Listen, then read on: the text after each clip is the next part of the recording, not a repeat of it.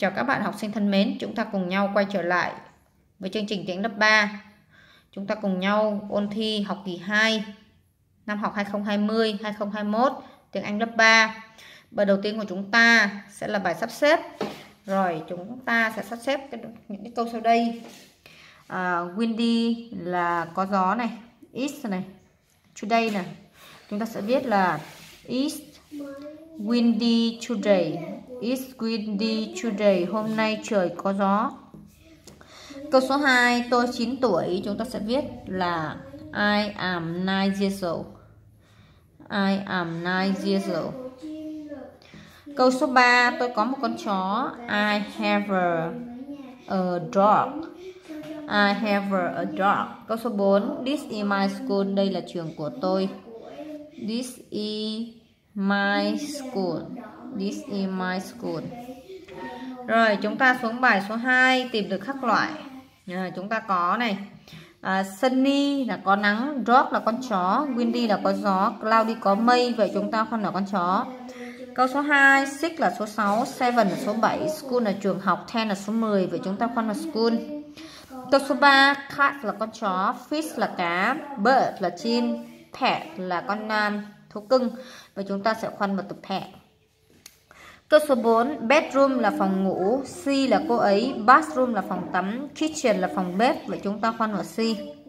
Câu số 5, C là cô ấy, that, he, I, he là anh ấy, ai là tôi, chúng ta khoan vào that.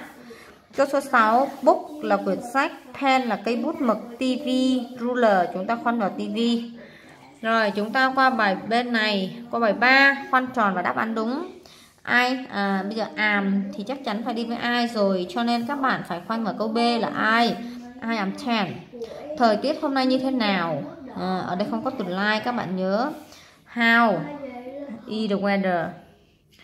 How is the weather là thời tiết như thế nào?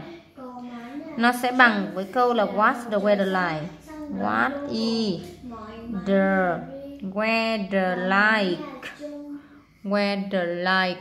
What is the weather like. Ở đây không có like thì các bạn phải xài how. Đó là câu C. Câu số 3 tôi có một bây giờ có một thì phải là danh từ số ít. Chúng ta không có xài câu này không có xài câu này chúng ta sẽ cut. Uh, you thì các bạn phải xài a. How old are you? Bạn bao nhiêu tuổi? Chúng ta khoan vào câu này. Câu số 5 trời mưa ở Hà Nội vào ngày hôm nay trời là ít y. À, con câu C. It's rainy in Hanoi today. Tên của bạn là gì? Chúng ta thiếu từ what? What is your name? What is your name? Rồi chúng ta xuống bài 3 điền vào các bảng đây. À, đây là một cái đoạn văn đang nói về thời tiết. Và chúng ta sẽ điền vô thành phố và thời tiết như thế nào. Rồi hello this is the weather forecast.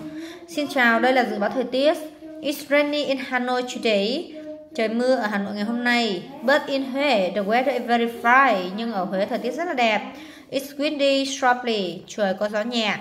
It's cloudy in Da Nang today. Trời hôm nay ở Đà Nẵng thì có mây. There are many clouds. Có rất nhiều mây. It's sunny in Ho Chi Minh City. Ở thành phố Hồ Chí Minh thì trời sunny có nắng. There, uh, there are no clouds. Không có mây rồi chúng ta điền. Hà Nội thì sao? Hà Nội rainy. Viết từ rainy vào.